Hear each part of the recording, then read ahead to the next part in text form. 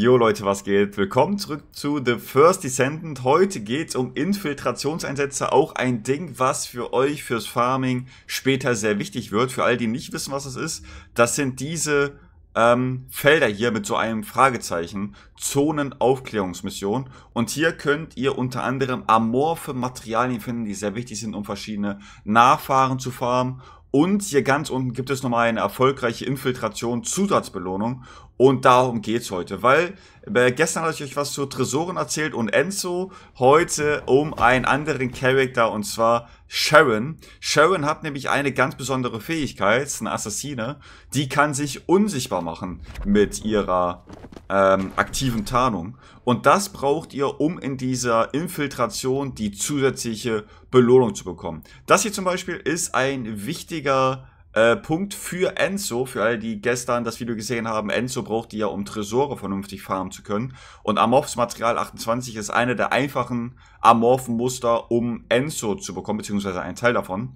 Und äh, da gehen wir jetzt einmal hin und dann zeige ich euch, wie so eine Infiltration aussieht. Für alle, die noch kein Sharon haben, ihr könnt das Ganze hier auch machen, das zeige ich gleich noch. Für euch ist ganz wichtig dieser äh, Posten hier. Dort könnt ihr nämlich die Infiltrationszeit um eine Minute erhöhen. Insgesamt gibt es in jedem Gebiet immer drei Stück davon und die werden immer zurückgesetzt, sobald ihr eine Infiltration durchgeführt haben, äh, habt. Das heißt auch für die Early Game Leute, wenn ihr etwas länger Zeit braucht in dieser Infiltration, ähm, dann könnt ihr die Zeit erhöhen mit diesen Dingern hier. Mit Sharon bin ich jetzt da und mit Sharon, die besiege ich mal eben, weil sonst nerven die.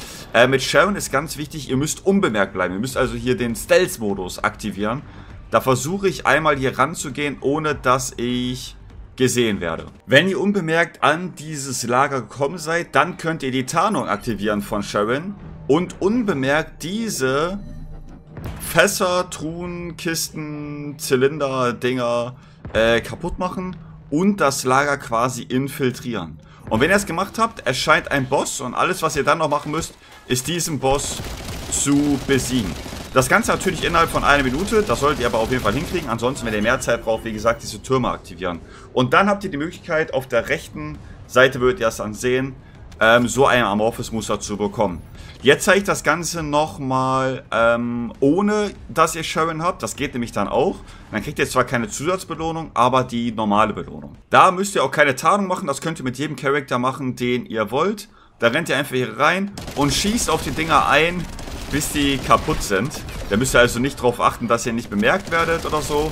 Macht die einfach kaputt, wartet bis der Boss kommt und besiegt wieder den Boss. Habt den gleichen Effekt, nur nicht diese Zusatzbelohnung. Jetzt habt ihr euch bestimmt gefragt, ey, was hat der Luda gemacht?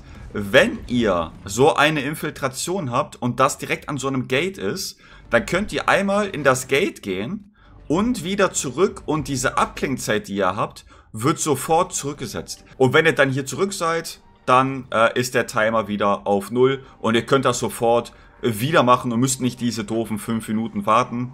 Also egal, ob ihr jetzt mit Sharon hier ähm, die Infiltration macht oder einfach alles schnell besiegt, ähm, das könnt ihr da machen, wie ihr lustig seid. Es gibt einzelne Infiltrationen, wo man bestimmte amorphe Muster nur durch die Infiltration bekommt.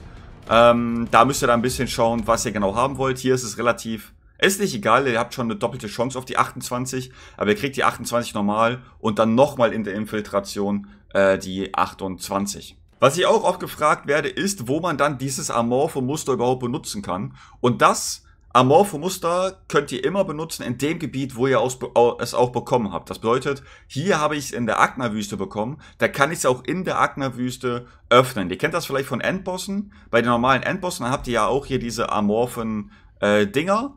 Und äh, da könnt ihr die nicht einsetzen, die könnt ihr wirklich nur in dem Gebiet einsetzen, wo ihr gerade seid. Und dafür gibt es solche Fusionsreaktor. Die kann man in dem Gebiet aufmachen, dann kommt auch ein Boss, den müsst ihr besiegen und dann kommt wie gewohnt diese Kuppel, dieser Ball, wo ihr das Amorphomuster dann ausgeben könnt. Ähm, jede Kuppel braucht unterschiedliche Materialien, um das aufzumachen. Insgesamt gibt es vier unterschiedliche Materialien. Das ist einmal organische Splitter, monomere Splitter, polymerleeren äh, Splitter und anorganische Splitter. Und diese Splitter könnt ihr auch farmen, auch wieder bei solchen äh, roten Türmen. Die sehen dann so aus. Dort müsst ihr dann einmal hingehen und da steht auch immer bei, wie ihr die zerstören könnt. Hier zum Beispiel nur mit Elektro, das wäre Sherman oder Bunny. Oder wie hier mit Feuer, nur durch Feuerfertigkeiten, das wäre zum Beispiel sowas wie Blair. Und dort kriegt ihr dann hier unten zum Beispiel vier organische Splitter und ein monomer leeren Splitter. Kleiner Tipp am Rande, ich würde euch empfehlen, das erst auch schwer zu machen, weil dort gibt es dreimal so viel pro ähm, Turm. Äh, deswegen macht es auf jeden Fall auf schwer. Ich hoffe, das hat euch für die Infiltration geholfen. Wenn ihr nichts zu The First Descent verpassen wollt, würde ich mich natürlich wie immer über ein Follow auf den Kanal freuen. Sehr über ein Like auf dem Video und sage bis zum nächsten Mal, Leute. Haut rein.